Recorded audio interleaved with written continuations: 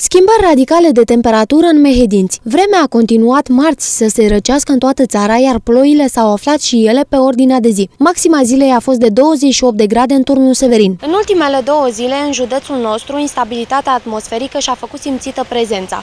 Temperaturile au scăzut de asemenea, fapt ce a determinat pe mehedințeni să scoată din dulapuri hainele de iarnă. Ziua a fost marcată de reprize cu averse zdravene, vânt intens și condiții de grindină. S-au strâns cantități însemnate de apă, iar temperaturile temperaturile în scădere față de ieri s-au oprit la 28-29 de grade. Vremea nu a ridicat însă probleme autorităților. Meteorologii vin cu o veste îmbucurătoare pentru zilele următoare. Vremea începe să se îndrepte. Miercuri mai vin câteva averse în zonele montane, în sud, în sud-est și în centru. Cantitățile de apă pot atinge izolat 25 de litri pe metru pătrat. În rest, avem timp frumos. Joi se anunță o zi foarte plăcută, cu cer mai mult senin, pe la munte, în sud și în sud-vest apar ceva condiții de ploaie. Vinerea aduce atmosferă însorită peste tot, vânt activ în est, sud-est și la munte și maxime cuprinse între 24 și 31 de grade.